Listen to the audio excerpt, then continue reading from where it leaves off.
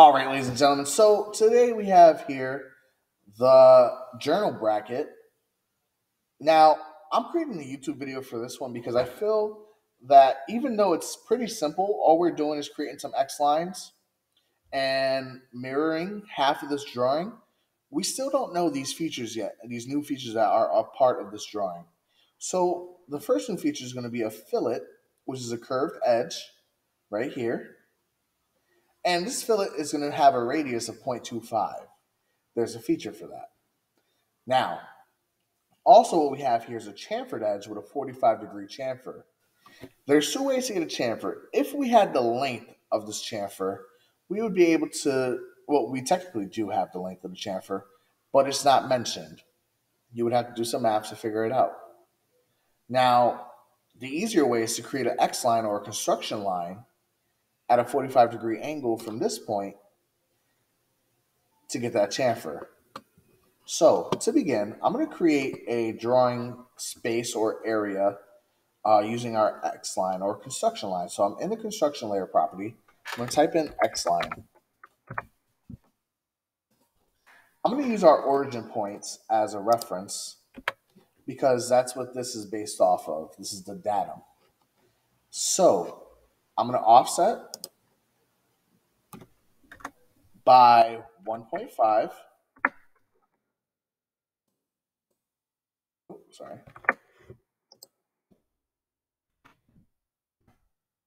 Then I'm going to offset this by 1.25.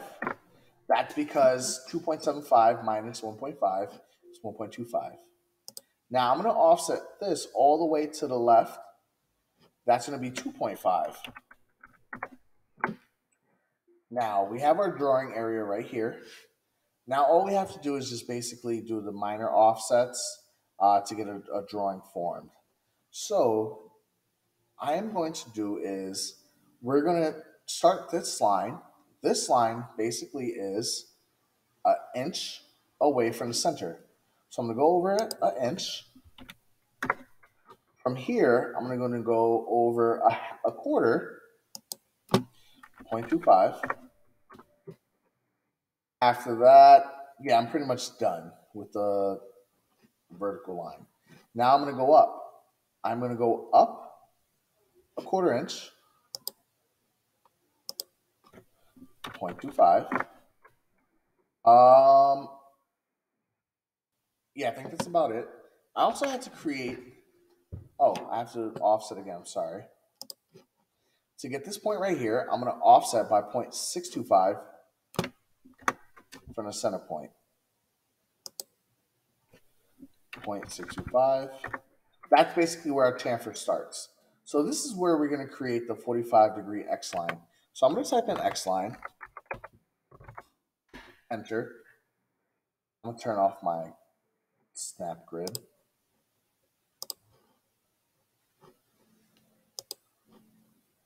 So 0.625 right here. I'm also going to turn off ortho and I'm going to press tab 45 because that's the degrees that we need. So as you can see here, it's going to start to form. So let's go into our object layer property, create a line. I'm going to start from our center point or our center right here. I'm going to bring it out all the way to this edge. Let me turn on ortho just to be sure I'm straight.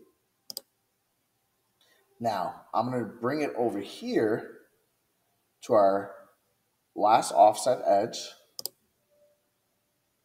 Then I'm going to bring it here to the end, right here. Then I'm going to bring this to about here, and then right here. So we have that going right now. I'm going to create a circle for my center point turn on my snap. That's going to be a diameter. Make sure you're in center diameter of 2. You see that circle touches right there perfectly.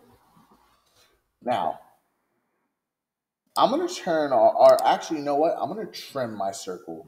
We don't need the rest of this, okay? So I'm going to trim right now.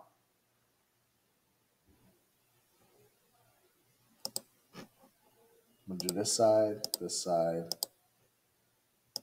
right here, right here. Now I'm gonna turn off my construction lines. I don't really need my construction layer properties anymore. We already did what we had to do. Oh, sorry. Bring the drawing up. So, what we have to do now is create a fillet.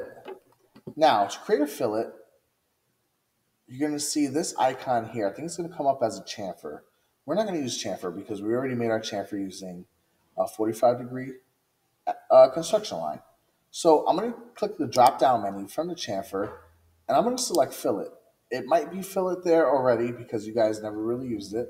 If it's there, go ahead. You'll be able to see that by hovering your mouse over it and it will say fillet or it'll look like a curved edge.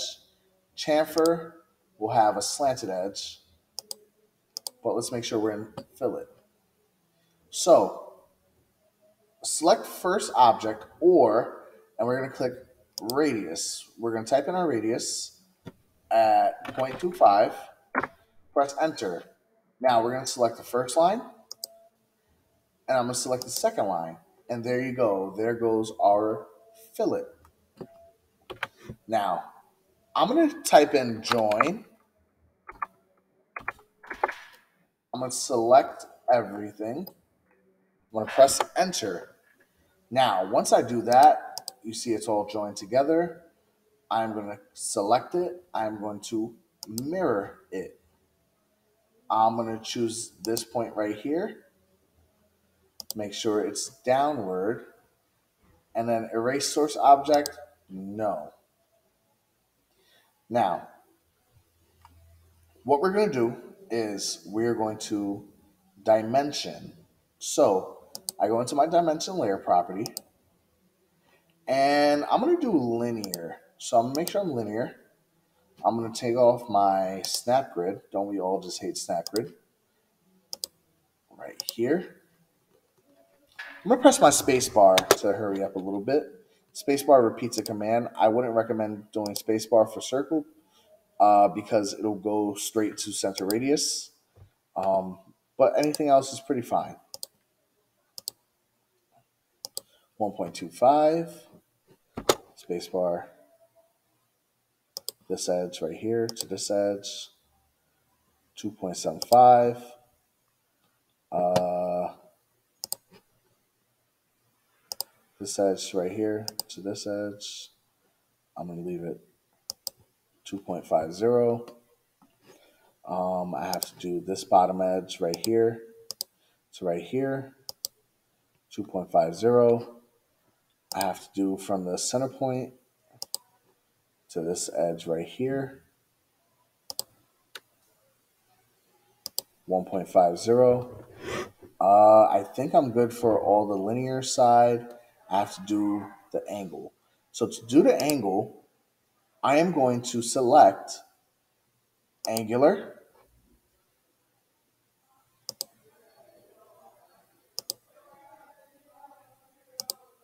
and these two points. Let me redo that again.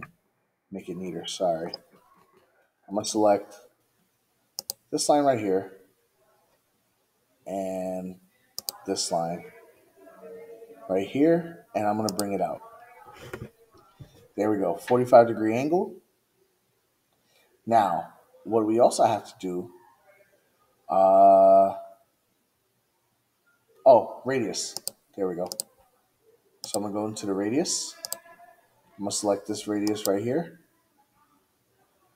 And there it goes. Okay. Now, I'm going to bring this in a little bit. Zoom, view, view, zoom, extents. All right. Yeah, it's fine like that. All right. So, uh, we have to create a center mark. So I'm going to create center here. Uh, I'm going to go to layer properties center, annotate, center mark. I'm going to choose this right here. There we go. Okay. Now, if you want to uh, tweak the dimensions around, make it similar. What I'm going to do is I'm going to go to DimSty.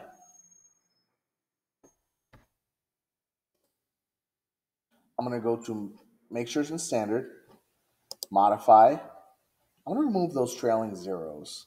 To do that,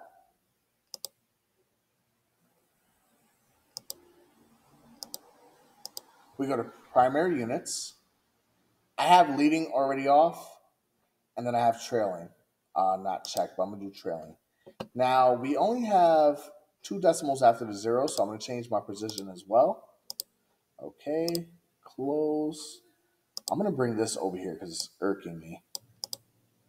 And I'm gonna probably bring it down. There we go. Uh, that's good right there. 1.5, 2.75. This is why I don't like to take off my trailing zeros. Let me put them back on.